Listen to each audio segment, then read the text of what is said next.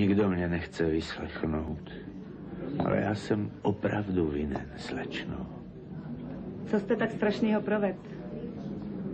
Ani se neptejte.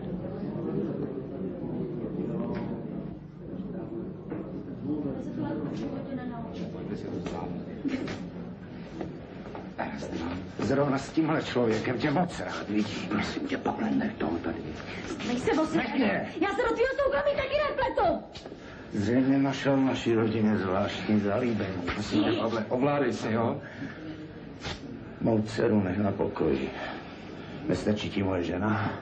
To bol, A vypadni! No, tak ti pěkně děkuju.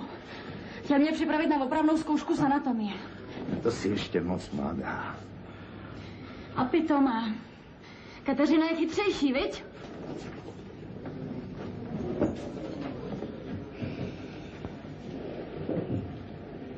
Dáš si koně. Dvakrát.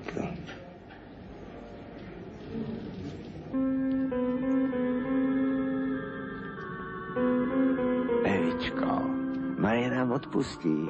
Je to přece moje žena. Ale tatínečku, to ne. To já radši budu spát tady. Ale Na ulici. Evičko, ne. Podívej se. Já ji odprosím, ty ji odprosíš. A Všichni za co, odprosí. oče? Za co, že nás vyhodila? Že mě málem do krve zmlátila? Měj rozum. No, Ale já nikam nejdu. Nejdu. tak tady na mě počkej, já se hned vrátím.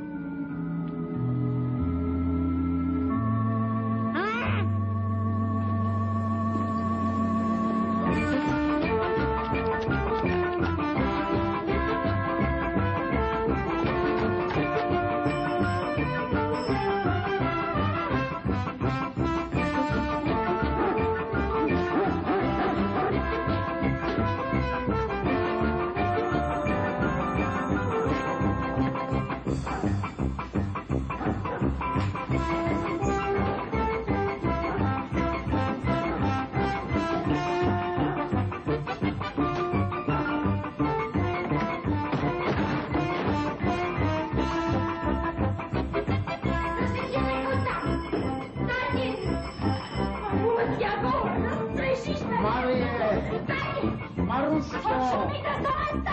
Toaletę się nie Marię!